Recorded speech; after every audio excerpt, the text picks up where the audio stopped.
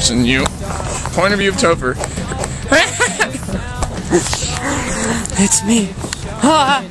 there used to be a dick here and Tarsi from Orange vs. I can't see your license plate. That's what the cop said. That's why I got pulled over. Well, that makes sense. It's pretty fucked up. You look like a, an angel right now. Ah. Semen angel. Look at all this shit.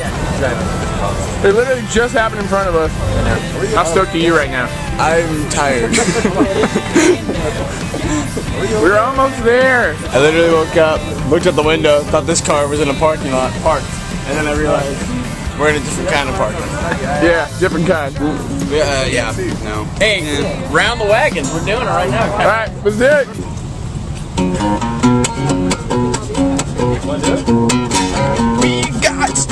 In Florida. We aren't going anywhere. We're just gonna keep staying here, and we're gonna never move. Oh my god, just. Big Daddy, what do you think about all this? It's like we're just lucky people.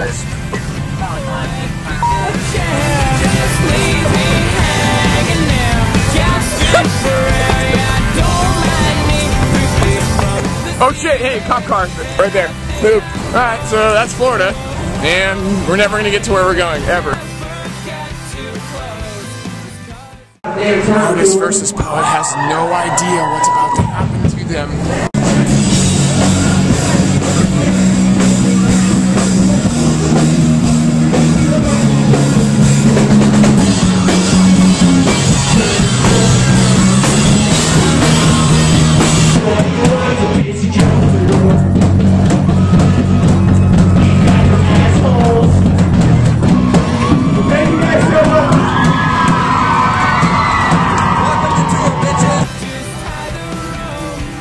Did you ever find out? Uh,